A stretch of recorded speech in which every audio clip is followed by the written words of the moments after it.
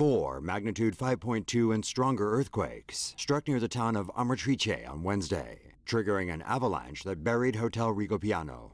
About 30 people were at the hotel at the time.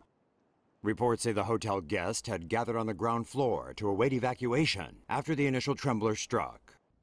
One guest, Giampaolo Parete, said he stepped out of the hotel to get medicine for his wife when he saw the avalanche come down and engulf the hotel, burying his family and others inside.